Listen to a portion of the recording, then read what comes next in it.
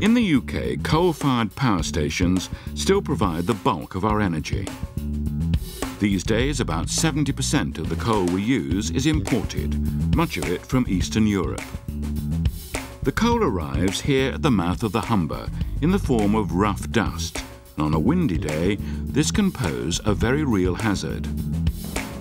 It's the job of Council Officer Danny Fox to keep an eye on proceedings. And with dust like this, a weather eye. As you can see, we've got uh, a hold here full of um, power station coal, fairly fine, 0 to 50 millimetres. We need to check whether or not there's any dust coming off it and whether or not we need to put any water in the hold uh, to keep the coal dust down. A Russian container ship is unloading 25,000 tonnes of coal dust.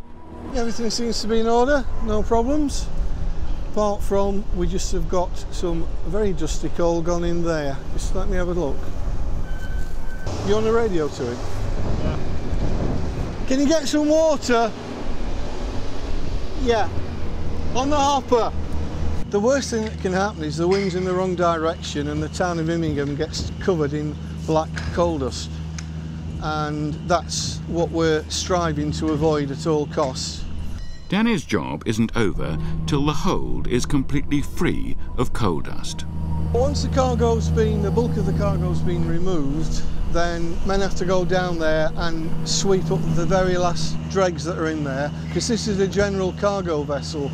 So its next cargo may not be coal, it could be wheat, it could be any bulk cargo, iron ore, so that the vessel has to be cleaned before it leaves the uh, port. It's very important that the dust isn't blown by the wind. Danny has reason to be pleased. Thank you very much, everything's absolutely fine, and we'll see you next time. Have a good trip. You're welcome. Okay, See you. Bye. do svidania. Bye.